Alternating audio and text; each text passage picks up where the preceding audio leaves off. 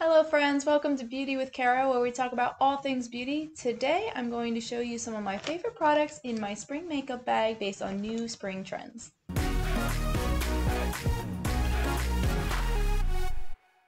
Okay, so I am slowly changing my makeup bag to more spring-like items and I have some products that are based on five new spring trends that I found and I wanted to try them out so I thought I'd share it with you. So since I'm only doing five new trends today, I am doing a spring trend 2020 course in my Ultimate Home Pampering group on Facebook.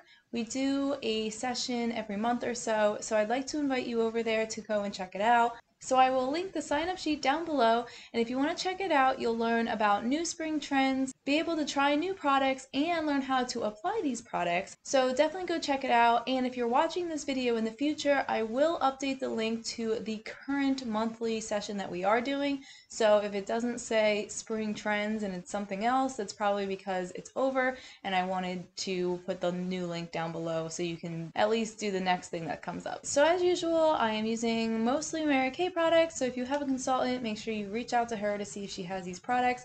If you don't have a consultant, feel free to check out the links below and contact my contact information is at the bottom. Okay, so for the first trend, I noticed that a lot of natural dewy looks were in. So the first product that I have is the illuminating drops that came out last year and these come in three different colors.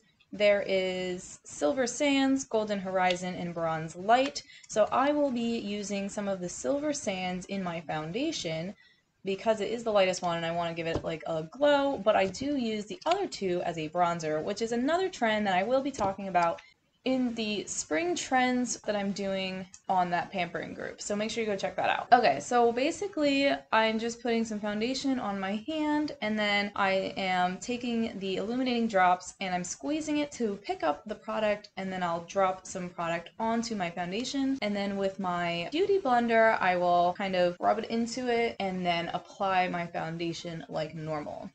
Now there are other ways to use these. Of course, you can put these under your foundation, you can put them with your moisturizer, you can use them as a highlight or a contour or a bronzer. So there's a ton of different ways to do it. I love putting it in my foundation because I like having foundation on and getting that glow from being in the foundation. The next trend that I saw was pretty big is the bold lip stains.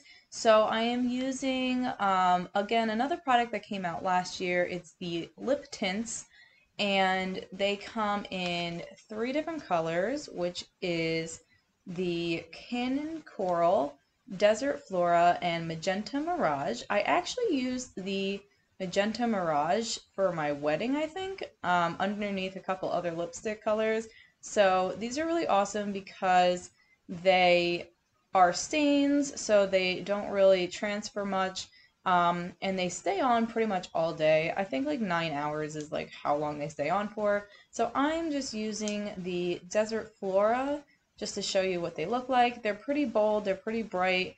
Um, you could put it a little bit less and just kind of stain your lips, or you can go super bright like I'm doing. And these work really great just to give you a little bit of color and it also works great underneath the masks because they're not going to transfer onto the masks as much as a normal lipstick would. Okay, so the next look that I saw was very popular is the Parisian look. If I'm saying that wrong, someone please correct me in the comments. But basically, it's just putting on a very bright red lipstick without anything else. So like just normal natural look with bright red lipstick. So I'm putting this on next. So I'm putting on the new matte liquid lip color in Red Alert. So these are mini matte liquids. So it comes with two colors in one of the packs. And this is super cool because it is a liquid color. So it goes on super easy like a lip gloss, but it's a matte. So it dries like a matte. It looks like a matte, but it's very flexible. So it's not going to be super cracked and stuff. So if you have super dry lips like me, this is super awesome because your cracked dry lips doesn't show from the bottom of it so I think that's super cool. So this is super trendy. And then another thing that's super trendy is nude lip colors. So um, I'm showing you a lip color on the screen. This is Tenacious Taupe, which I use in my St. Patty's Day spring tutorial. So if you want to see that, go check that out. I will have the video linked at the end of this video. All right, the next trend that I tried out, I don't know if I'm a super big fan of. So I have my Precision Brow Liner and my Volumizing Brow Tint in my bag. So the trendy look right now is to have big, feathery, natural brows. Um, some people take this to the extreme and have basically all their eyebrows sticking up.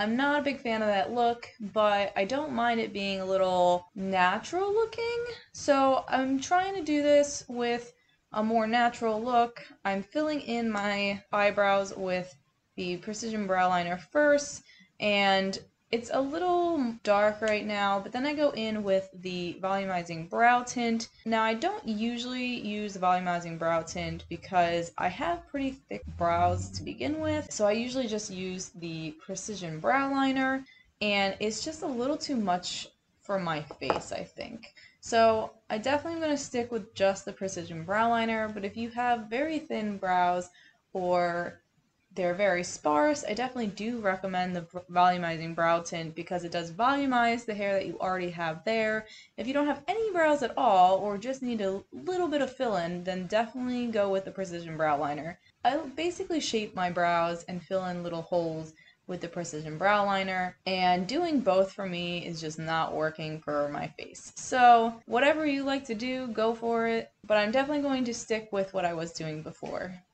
All right, so the last trend is apparently it's going to be super trendy to just have lash extensions or big fluffy lashes. Now, I'm not a fan of lash extensions just because there's a lot of upkeep with them and I'm just not into that, I guess. So instead, I have the Lash Intensity in my bag. Now, this is a mascara that I absolutely love. I use it all the time um, but it's just super fitting for this trend right now. And of course, I put the lash primer on first just to make application easier. My lashes are going to be primed and ready to go. The lash intensity has two different size bristles on the brush, basically one to volumize and one to lengthen. So I use the short side first and I wiggle it up on my lashes to kind of give it some volume. The lash intensity gives about 200% more volume to your lashes. So if you like volume, this is very good mascara for it. And then I flip it over to the long side and I basically brush through the lashes with that and that gives 94% more length to your lashes. Now you could pair this with one of the Lash Love formulas that we have to make more length if you like more length and like the volume of the lash intensity. But I think this gives a supernatural, fluffy, fluttery, feathery look to the lashes. Um, it's not too overbearing. You could put a lot more layers on it to build it up if you wanted to, but I feel like this gives you a more lash extension kind of look without the lash extensions. So definitely a keeper in my book. I will always forever use this mascara. So after applying all five of these trendy looks, I know I covered up the bold lip tint with my red lipstick, but this is the final look that I have from all five of these trends. Again, I will do more trends and show you more products in our spring trends session that I'm doing on my Facebook group. So definitely go make sure you check that out and get a seat before it all fills up. So that's all I have for you today. Don't forget to like and subscribe for new videos every Thursday and make sure you check out the link below to register for our Spring Trends class. Once you finish registering, someone will reach out about adding you to the Facebook group, and if you don't have a Facebook group, we have an alternative that they will also tell you about. And like I mentioned earlier, if you missed the spring makeup tutorial with the St. Patrick's Day inspired look, you can check it out right there. Thanks for watching, and I will see you next week.